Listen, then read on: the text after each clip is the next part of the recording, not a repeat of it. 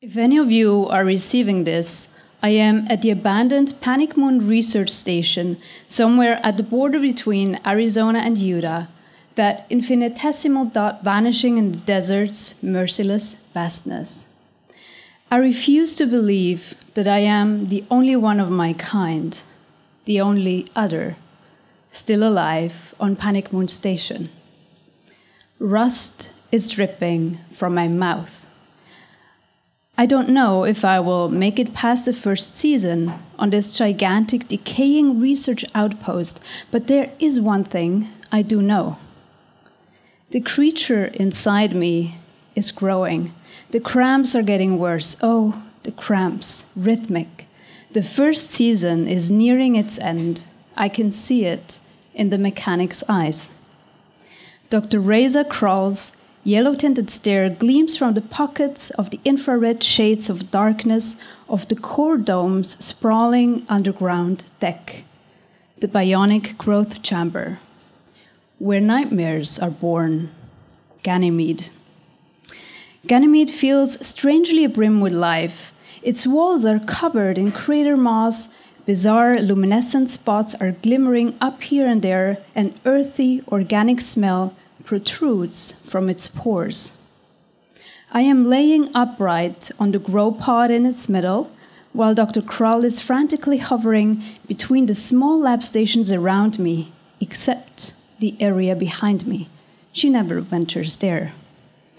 By now, my face feels like the moon's crater landscape with geysers of pain boiling beneath the surface. After all, she's not merely Dr. Krall. She's heads will roll, Krall. And right now, she's in one of her dangerous moods. Are your organics still in love with me, Ronsha? She asks. I evade her glance, stare to the side onto the moss lined wall beneath her thin aluminum suit, the lightly glowing complex tattoos on her perfectly symmetrical dark bob, her olive complexion. Indeed, my organics are. Nonetheless, it's not entirely voluntary. My love, you see, is manufactured. I am borrowing my own body, an organic appliance controlled by its owner, with oxytocin, liquid love. As she approaches, a sudden wave of euphoria washes over my senses, and I cannot help my lips cusping into an uncontrollable grin, a hysterical, chuckle. My teeth must be smeared with rust. I am laughing at my own demise. See, Ronsha, you're happy here with me, even if you're bleeding a little. Promise me you'll stay. She runs her index finger along my swollen lips, her amber eyes aglow. Say it. I press my lips tightly together, as if I have a choice. Talk to me, you degenerate! Selstack. Her voice breaks, but her flared nostrils and frenzied glances to the moon clock directly above my pod give away her bellicose inner state. All nine moons have emerged on the clock. She will soon take what is inside me. You cannot fabricate it yourself, can you? The words force themselves out of my desert dry mouth. The mechanic's expression freezes as I sense her thoughts shift inward. A long silence sinks into Ganymede like radioactive crystals encompassing the unspeakable. Finally, she clears her throat. I, I once did, but, but he, he, she trembles. All of a sudden, Dr. Krall seems so vulnerable, shrunken, crushed by Ganymede's grand gravity, a gravity she herself created. Bewildered, I watch my own hand extend itself to her in compassion. He said he didn't want to share me with the, the little one. He, he was so powerful physically, my, my body hasn't recovered.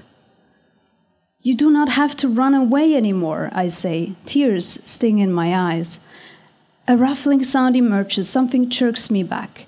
It is the pod's mycelia, which quickly tighten the grip around my chest until I am pressed against the pod so hard it compresses my breath. The crater moss releases its airborne drugs, until I am drowning in dizziness. Limp. Deliriously, I start to fantasize about my after season retirement on Panic Moon's upper deck. Oh, to see the real moon for the first time. You will forgive my naivety. Somewhere buried deeply in my chest, a question erupts Am I the last of my kind? What happened to all the others? My voice climbs, and I am not proud of its shrill tone. But she does not hear me. The mechanic is rummaging in her cabinet at the opposite end of the bionic growth chamber, murmuring phrases about gene mods and astrobiology, how how strong and adaptable he will be, ultra stabilized oxytocin, liquid love to last beyond Earth, beyond death. Death. Just as the moon clock starts playing an eerie melody composed of triumphant, complicated harmonies as heavy as lead. The time has come. She turns around to me. When my glance falls upon her hands, panic claws at the back of my throat and my heart flutters hysterically like an animal caught in my chest. That's when I notice it. The fleshy, gentle kick against my skin from the inside of my lower abdominal segment. Those warm movements, this uplifting new urge, liquid love from the creature. My eyes open wider and wider as I sense my organics rewire themselves in response, as if to unleash my own instincts, my own senses. Something else is here, the faintest presence of life. I remember this reflection in the mechanic's eyes once, a reflection of what lies behind my pot, where she never goes the shattered bodies of the other others, stacked against the wall, rotting away, slowly turning mad in the twilight. I sense the hairs on my neck rise. Dr. Krall's shadow is the deep red velvet of open flesh, and the mechanical harvester gloves are glinting on her hands. Murderer, I whisper, she, rush, she rushes toward me, her claw fingers dragging on the ground, her yellow eyes ablaze with furious excitement, fixating the vault of my exposed abdomen. A pulse of energy surges through every cell of my body, electrifying my muscle fibers. Time seems to slow down. I manage to break up the hardened mycelium grid over me. I jump up, strike the side of her head, and rust flows from her wounds and flows. Her eyes fill with terror. What? What have you done? Her claws drill into my shoulder as she tumbles in surprise. You, you, you will die miserably. You're your engineered cell stacks will stop releasing neurotransmitters without my pheromones. I lay my shaking index finger on her lips. Shh, I have him. He is made of you.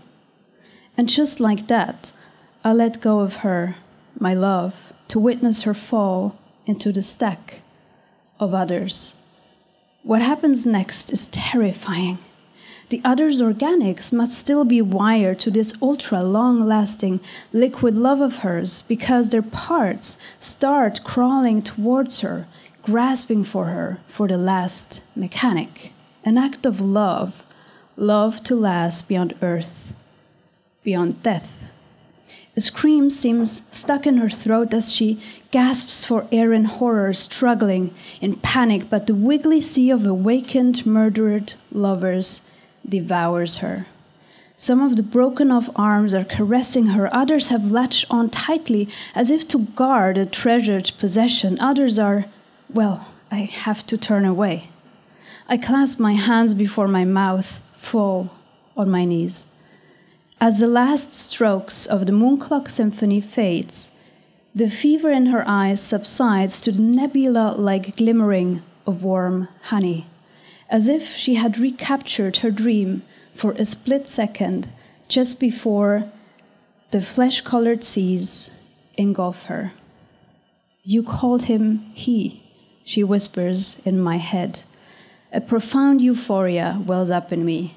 It turns out I am not the last, and he is coming. Thank you.